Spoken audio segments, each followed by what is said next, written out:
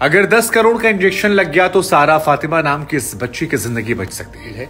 इस वीडियो को शेयर कीजिए अपने अपने व्हाट्सएप पर, अपने अपने इंस्टा स्टेटस पर, ताकि उत्तर प्रदेश की सरकार, केंद्र की सरकार इस बच्ची के बारे में सुने, जान बचा स्पाइनल मस्कुलर एट्रॉपी नाम की इसे बीमारी है। तेरह साल इसकी उम्र है क्लास फिफ्थ में पढ़ती है और इसे इस बीमारी ने ऐसा पकड़ा कि घर वाले परेशान है। सोशल मीडिया पर इस बच्ची के लिए कैंपेन चल रहे हैं, लोग मदद की बात कर रहे हैं। इनके परिवार ने डोनेशन की बात भी की है, लेकिन कीमत बहुत बड़ी है उस इंजेक्शन की। दस करोड़ रुपए। इस बच्ची के बारे में कहा था कि पढ़ने लिखने में अच्छी है, ऑनलाइन क्लासेस करिए, घर पर रह करिए, और इस बीमारी ने इसे परेशान कर रखा। परिवार बहुत दुखी है।